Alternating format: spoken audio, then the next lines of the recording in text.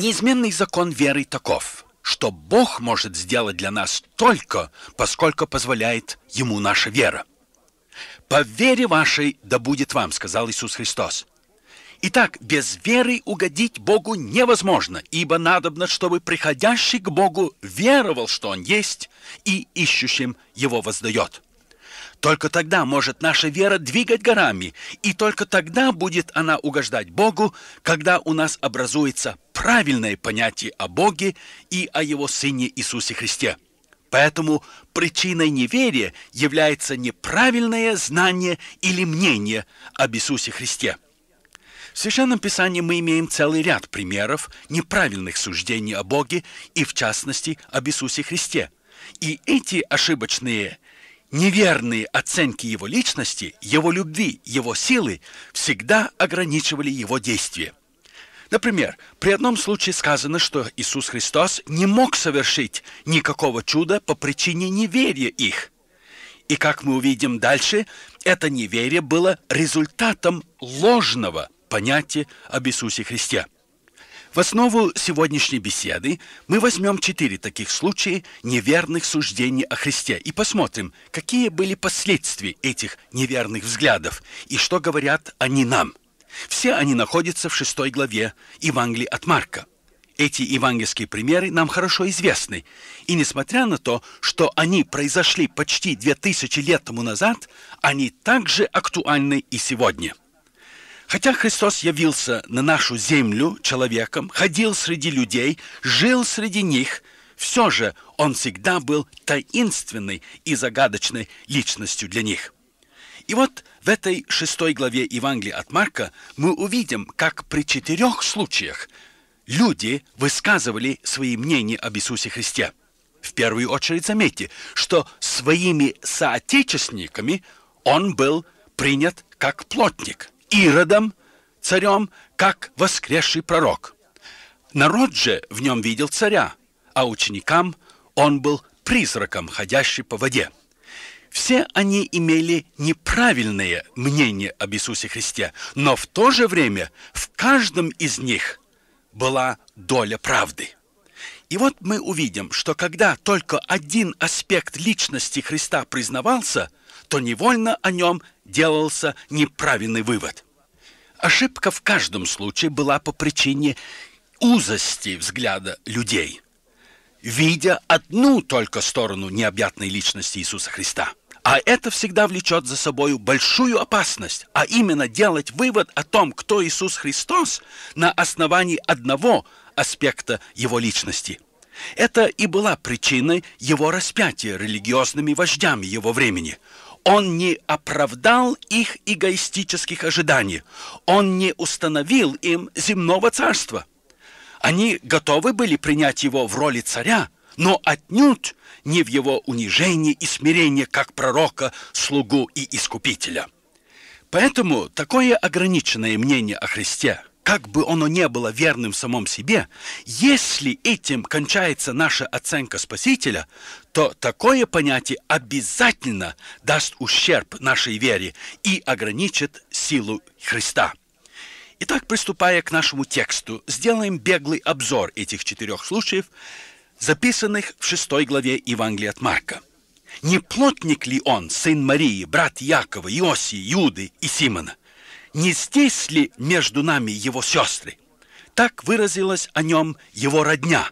Это было мнение людей, которые, по всей вероятности, знали его лучше всех по плоти, то есть с точки зрения его земной жизни. Это было в Назарете, в тесном кругу незначительного городка – он у них вырос на глазах, так что знали они его хорошо. Но теперь, после краткого отсутствия, он вернулся к ним как учитель. И не то их столько удивило, что он начал учить, сколько метод и сила его учения. Представьте себе картину. Вернувшись в свой город, он вошел в синагогу и там начал учить собравшаяся толпа, посреди которой была их старшина, пришла в изумление, когда он разъяснял им Писание. Перебивая его речь, они восклицают, откуда у него это? Что за премудрость дана ему? Не плотник ли он? и соблазнились о нем. Иными словами, они в нем соблазнились, потому что его не поняли и не готовы были принять более, чем одного из своих. Достойно внимания то, что в своей критике они тем не менее выразили чудную истину, что Иисус был один из их среды, что Иисус испытал на себе все человечество. Он был плотником, человеком трудящимся. Не плотник ли он?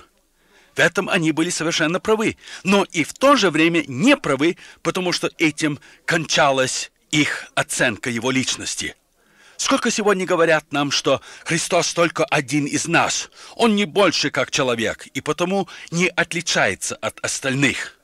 Они готовы принять Христа как человека, но не как Бога. Следующее ложное мнение о Христе было сказано Иродом. Но в этом – нет ничего удивительного. Ожидать иного, чем неправильного взгляда о Христе от такого низкого, подлого и проданного злу человека нельзя было. И тем не менее, в его словах мы тоже слышим эхо чудной истины о том, кем был Иисус Христос.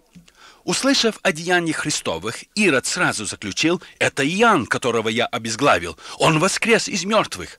Вы припоминаете этот случай, как по просьбе распутной женщины, его сожительницы, он приказал казнить Иоанна. Но заметьте, и история это доказала не раз, что человек может обезглавить пророка Божьего, но похоронить его он не в состоянии. Убитый им пророк будет преследовать его, и вдруг в ночной тишине он услышит голос его. Ни один деспот не может заглушить голоса правды. Тело его возможно уничтожить, но кровь его будет продолжать вопиять из земли. И вот, услышав о чудных делах Христовых, запачканная кровью совесть Ирода восклицает «Иоанн Креститель воскрес из мертвых». Так определила Иисуса Христа загрязненная, обвиняющая совесть безнравственного человека – Обратим теперь внимание на третий случай в этой главе. Это было после чуда насыщения народа. Насыщенный хлебом народ хотел сделать Иисуса Христа царем. Вот наш царь, которого мы ожидали, говорят они. Он обеспечит нас насущным хлебом. Да, они хотели сделать его царем на основании его способности удовлетворить их не духовный голод, а телесный. Теперь заметьте последний случай. Он относится к ученикам Христовым. Уйдя на гору помолиться, Христос велел ученикам отправиться по ту сторону озера. Но, как мы читаем, ветер был противный. И ночью после молитвы Христос пошел к ним по воде. И сказано, они, увидевши его, идущего по морю, подумали, что это призрак. И вскричали. Они, видя Христа, идущего по воде, заключили, что это был призрак. Ученики пришли к такому заключению по той причине, что они были боязливы и маловерны. И заключение это было ложное, но в то же время в нем была доля правды. Они в том были правы, что в их присутствии было нечто таинственное, непонятное человеческому уму, загадочное. И действительно оно так. Кто может сказать окончательное слово об Иисусе Христе – он вправду является тайной всех веков. Кто может постигнуть всю глубину, долготу, широту и высоту этой дивной мистической личности Иисуса Христа? Как Он некогда являлся своим ученикам, Он и сегодня, идя по бурным волнам житейского моря, поражает людей. Да, мы Его видим, но неясно и смущаемся. Где же тут ошибка? В чем ошиблись эти люди? Они в том ошиблись, что их понятие о Христе в каждом упомянутом случае было ограниченным. Однако, если взять все четыре мнения, высказанные здесь о Христе, то тогда мы будем недалеко от правды. О том, кем был Иисус Христос. Я говорю недалеко, потому что, опять повторяю, ни один человек еще не сказал последнего слова о Христе. Посмотрим поближе. Что обнаружили эти люди в Христе? Первые, то есть соотечественники Христа, назаритяне, сказали, «Он ведь один из нас». Не плотник ли он? И вправде он принял образ раба, очеловечился, чтобы стать одним из нас. О, дивная истина, что Бог воплотился в Сыне Своем. Иммануил имя Ему, что значит «с нами Бог». Но он не только стал во всем подобен нам, кроме греха, но в то же время он и наш царь, который обеспечивает народ свой всем потребным благодарение ему. Дальше мы видим, что он же и пророк, который не только провозглашает истину, но который один мог сказать «Я есмь истина». И зная все это и больше, Христос тем не менее остается божественной тайной, непостигаемой человеческим умам, личностью, о которой ни один не может сказать заключительного слова. Можно сказать, что если бы эти люди обобщили все эти четыре взгляды о личности Христа, то не делали бы ложного вывода о нем. Заблуждение их было в том, что они ограничили Христа одним аспектом, одним свойством его чудной необъятной личности. Теперь, чему же учит нас все это сказанное о Христе здесь, в этой шестой главе Евангелия от Марка? Во-первых, что мнение, образовавшееся в человеке о Христе, всегда говорит нам, кем в сущности является этот человек. Мы это видим из приведенных примеров. Те, которые говорили, что он просто плотник, ограничивая его тем, что он только человек, один из них, они делали это по зависти – не желая признаться в том, что совершал он чудеса и учил как власть имеющий.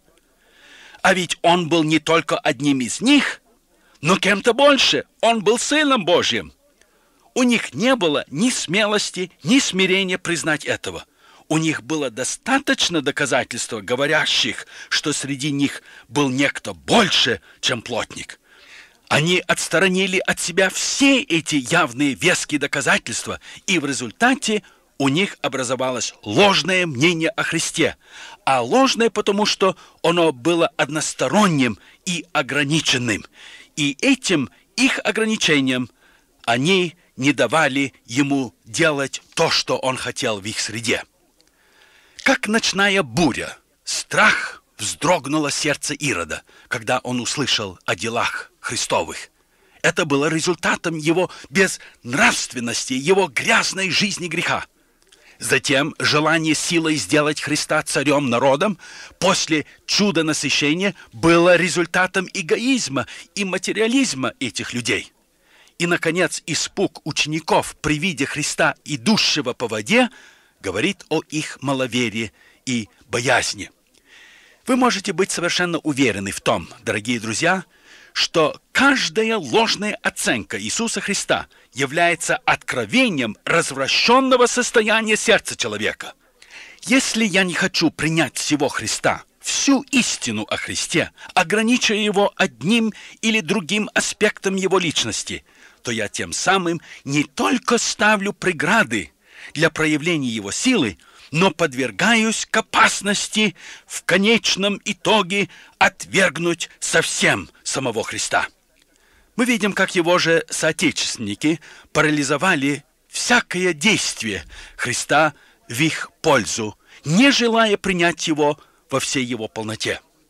А те, которые готовы были его воцарить, даже силой хотели сделать его царем, в конечном итоге когда он не осуществил их эгоистических ожиданий, в один голос с его самыми ярыми противниками кричали «Распни его! Распни его!» Дальше Ирод, который в нем видел пророка, но не желая расстаться со своим излюбленным грехом, тоже в конце концов отдал Христа на избиение и потом на распятие. Да, тот самый, который с удовольствием слушал Иоанна Крестителя, предвестника Христова, теперь полностью оказался в тисках своих страстей. Ирод ни разу не видел Христа, только в последний час, но тогда, увы, Христос уже не имел ни слова сказать ему.